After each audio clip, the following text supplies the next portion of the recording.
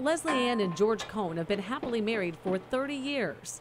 I think, honestly, we bring out the best in each other. Well, she absolutely is the love of my life in so many ways. But like in any marriage, there's been struggles to work through. We have different communication styles. So we got to come to the conclusion if she wanted help, she had to ask for it.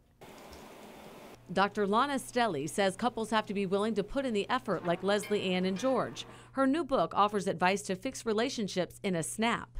Oh, you can turn it around in a month. Lana's first tip The number one relationship killer, I would say, is criticism. instead, focus on what's right with your partner. Number two, don't let your arguments escalate. We used to think that express your anger and you'll feel better.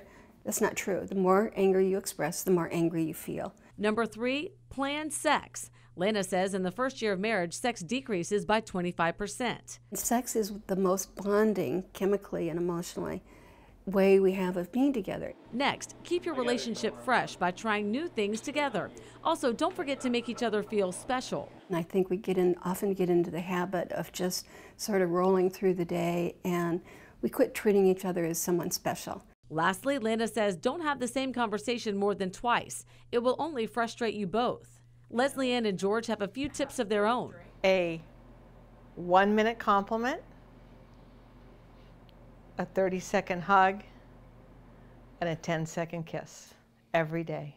And never going to sleep, Matt. It's a formula that's kept them happy for three decades. I'm Vanessa Welch reporting.